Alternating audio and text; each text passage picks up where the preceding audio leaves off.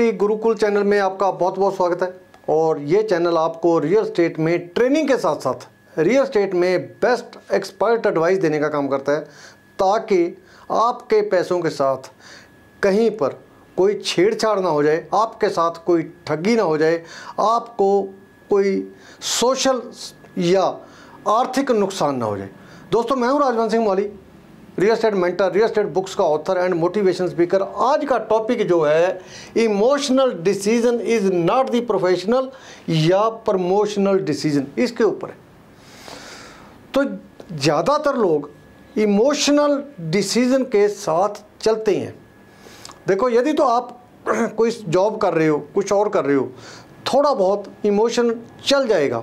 यदि आप बिज़नेस कर रहे हो तो आपको इमोशन से थोड़ा हट के काम करना पड़ेगा। क्योंकि इमोशनल जो एस्पेक्ट है ना वो हमेशा कमज़ोर एस्पेक्ट ही माना जाता है। इमोशन में हम आगे बढ़ने की बात नहीं करते हम दिल की सुनते हैं। जबकि प्रोफेशनल या प्रमो, प्रमोशनल डिसीज़न में हम अपने दिमाग की सुनते हैं दिल की कम सुनते हैं। असली बिज़नेस है जो, या असली आपकी प्रमोशन है, वो दिमाग से होती है, दिल से नहीं होती। दिल से तो वही, वो गाने वगैरह जो चलते हैं, वो अपने खून के उससे कोई चिट्ठी लिख रहा है, कुछ और, वो इमोशन है। वो आपके, आपको सेटिस्फाई देने सेटिस्फाई करने के लिए ठीक है, कुछ हद तक ठीक है। लेकिन ज़िंदगी में विचरने के लिए आपको इमोशनल से, इमोशनल डिसीज़न की बजाय प्रोफेशनल या प्रमोशनल डिसीज़न ही लेने पड़ेंगे। यदि आप रियल स्टेट की बात करो तो रियल स्टेट में जब हमारे पास पैसा आना शुरू होता है तो हमारा सबसे बड़ा डिसीज़न होता है घर लेना। या बड़ी कार लेनी, या अपने शौक़ पूरे करने। हमारा एक रिश्तेदार, उसके पास चार पैसे आने शुरू हुए, उसने घोड़े खरीद लिए। कभी कहीं जा रहा है गाड़ी के ऊपर, कभी कहीं घोड़े दिखाने के लिए। मतलब हम लोग अपने आप को अमीर दिखाने के लिए ऐसे काम करते हैं। और कुल मिला के देखा जाए, नुकसान हमारा ही होता है। जिस आदमी ने घोड़े खरीदे थे या कोई और चीज़ें खरीदी थी, वो आज आदमी फिर धरती पर ही है। मैंने पहले भी एक बार आपको बताया था 2 सितंबर 2008 को मेरे एक जानकार ने दो करोड़ छः लाख की ज़मीन बेची और आज उसके पास मेरे को लगता नहीं कोई पैसा है। पंगा वही emotion emotional decision emotional decision में उसने करोड़ रुपए का तो घर बना लिया वहाँ पर, दो करोड़ में से। और फिर इमोशनल डिसीज़न कहीं मत्था टेकने जा रहे हैं, बाई एयर, फिर विद फैमिली कहीं खाना खाने जा रहे हैं, कहीं पर कोई मंदिर की इनाग्रेशन हो रही है, वहाँ हम चीफ गेस्ट बन रहे हैं। मतलब जितना मर्ज़ी आपके पास धन पड़ा हो, यदि आप धन को कमाना नहीं सीख जाते, पैसा को कमाना नहीं सीख जाते तो वो पैसा आपके पास टिकने वाला नहीं है। मैंने अपनी किताब, जो नई किताब आएगी, रियल स्टेट का डीएनए, उसमें कहा है कि आप अपने पैसे की शादी करो। जिस तरीके से हम अपने ख़ानदान आगे बढ़ाने के लिए अपने बच्चों की शादी करते हैं, इसी तरीके से आप अपने पैसे की भी शादी करो ताकि पैसे से पैसा जनरेट हो। यदि पैसे से पैसा जनरेट होना शुरू हो जाएगा तो आपकी लाइफ आसान हो जाएगी, नहीं तो फिर आपकी लाइफ गड़बड़ हो जाएगी। वारन बफे कितना बड़े मतलब लेवल के इन्वेस्टर हैं। वो कहते हैं, पुराने घर में रहते हैं अपने में तो गाड़ियों का भी ज़्यादा शौक नहीं है। हालाँकि वो जितना मर्ज़ी, जितनी मर्ज़ी गाड़ी ले सकते हैं, जितने मर्ज़ी बड़े घर में रह सकते हैं।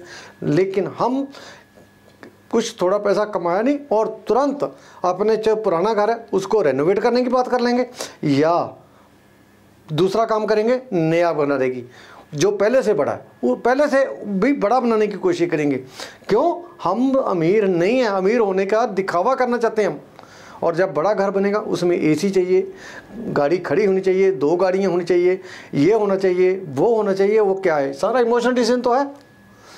इमोशनल डिसीज़न जो है, वो आपको खर्च की तरफ़ लेके जाता है। और जो प्रोफेशनल डिसीज़न है, आपको निवेश की तरफ़ लेके जाता है। यदि आपको इमोशनल होना है तो आप हंड्रेड परसेंट खर्च करोगे।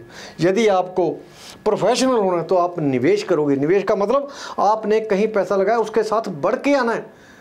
और खर्च में जो पैसा आपके पास है, वो भी ख़त्म। जैसे वो दो करोड़ छः लाख रुपए वाले ने किया एक नहीं, सैकड़े एग्जाम्पल्स हैं। यहाँ मैं मोहाली में रहता हूँ, मोहाली के आसपास ज़मीन एक्वायर हुई है।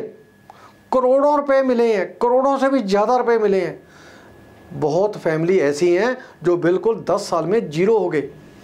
मैं पहले भी कहता हूँ, आज भी कह रहा हूँ, ये बात को एंडोर्स करता हूँ कि जिस आदमी के पास बिना कमाने के पैसा आ जाता है यदि वो संभाल ना पाया तो उसकी लाइफ पाँच साल है। यदि आपकी लॉटरी की टिकट मिल जाए लॉटरी निकल आए और पैसा मिल जाए, करोड़ों रुपए मिल जाता है तो आप उसको पाँच साल में ही ख़त्म कर देते हो। बड़े बड़े खिलाड़ी बड़े बड़े टीवी स्टार फ़िल्म स्टार जिन्होंने ज़िंदगी में बहुत पैसा कमाया लेकिन पैसे को इमोशनल डिसीज़न लेने की वजह से खर्च करके ख़त्म कर गए और बुढ़ापे के लिए भी उनके पास पैसा नहीं बचा। सो हमने इमोशनल डिसीज़न से बचना है यार। हमने प्रमोशनल डिसीज़न लेना है या प्रोफेशनल डिसीज़न लेना है। यदि अपने पास पैसा पड़ा है, यदि पैसा बढ़ के आएगा, आपकी जैसे आपको औलाद औलाद प्यारी है, औलाद की शादी करते हो, और बच्चे की शादी करते हो, इसी तरीके से आप पैसे के साथ प्यार करो, पैसे की भी शादी करो, ताकि आपका पैसा और पैसे जनरेट कर सके। गारंटी देता हूँ, यदि आप पैसा जनरेट नहीं करते तो आपके पास जितना मर्ज़ी धन पड़ा हो, वो एक ना एक दिन ख़त्म हो ही जाना है। राजे महाराजे, यहाँ पर हमारे, हमने भी देखे हैं, पंजाब में भी देखे हैं, कोई और भी देखे हैं, जो किस, किसी टाइम उनकी तूती बोलती थी, आज उनके घर तक बिक गए किले तक बिक गए उनके किले तक बेच दिए उन्होंने, उनकी औलाद ने। क्यों? पैसे के साथ, पैसा था उनके पास, पैसे को पैसा जनरेट करना नहीं सिखा पाए, ना खुद को, ना अपने बच्चों को। और जब पैसे के साथ पैसा कमाने में हम नाकाम हो जाते हैं तो हमारी ज़िंदगी बिल्कुल ज़ीरो हो जाती है। पहले भी मैंने बताया कि एक गुप्ता फैमिली ने अपनी बेटी की शादी में 40 लाख रुपए की मर्सिडी दे दी। और बाद में दो, जो दूसरे बच्चे थे, दो बच्चे थे, उनको टाइट हो गए। मतलब तीन बच्चों के साथ मतलब इंसाफ ही नहीं कर पाए। पहले बच्चों को, पहले बच्चे को चालीस लाख की मर्सिडी दे दी बेटी को, कि मेरी बेटी का शौक़ था। वो शौक़ के लिए चालीस लाख रुपए दे दिया। और दूसरा, बिल्कुल जो दूसरे बच्चे, उनके साथ जस्टिफिकेशन ही नहीं हो पाई। अब 40 लाख रुपए की जो मर्सडी है 10 साल में या 6-7 साल में, वो चार लाख की रहेगी। उसी के दोस्त ने आगे एक अपनी बेटी की शादी की थी। उसने 15 लाख रुपए का प्लॉट दिया। और 15 लाख का प्लॉट वो 40 लाख का प्लॉट हो गया। वो 40 लाख का चार लाख रह गया और वो 15 लाख का 40 लाख रुपये रह गया। पंजाबी में कहावत है पट पिया सोना जो काना नुखाए मतलब ऐसे सोने का कोई फ़ायदा नहीं जो आपके कानों को खाता है। ऐसे शौक का कोई फ़ायदा नहीं या आपको ऐसी इच्छाएँ पूरी करने का कोई फ़ायदा नहीं जो आपको ही सड़क पर ले आए। सो so, यदि आप सड़क पर आना चाहते हो तो इमोशनल डिसीज़न लो। यदि आप ज़िंदगी में तरक्की करना चाहते हो, बड़े बनना चाहते हो पीस ऑफ़ माइंड मेंटेन करना चाहते हो तो प्रोफेशनल डिसीज़न आपको लेने पड़ेंगे। आपको खर्च और निवेश में फ़र्क का पता लगाना पड़ेगा। यदि आप खर्च का पता लगा लोगे तो आप ज़िंदगी में कामयाबी की तरफ़ बढ़ जाओगे। उम्मीद है ये टॉपिक आपको पसंद आएगा। और यदि टॉपिक पसंद आता है, वीडियो को लाइक करना, शेयर करना, इसके ऊपर चर्चा करना, आपका सवाल हो, कमेंट बॉक्स में नए टॉपिक पर वीडियो चाहिए, वो भी कमेंट बॉक्स में, चैनल पर नए हो या चैनल अभी तक सब्सक्राइब नहीं किया, चैनल सब्सक्राइब करके घंटी वाला बटन ज़रूर दबा दो, ताकि इस तरीके की कोई इम्पोर्टेंट वीडियो आपसे मिस ना हो जाए। बहुत जल्द मिलता हूँ। तब तक आप इस तरीके की बातें सीखते रहो, पढ़ते रहो, आगे बढ़ते रहो। पढ़ेंगे हम तभी तो आगे बढ़ेंगे हम। जो पढ़ेगा, वही आगे बढ़ेगा। थैंक यू वेरी मच बहुत जल्द नए टॉपिक के साथ आपके सामने राजवंश मोहाली। Thank you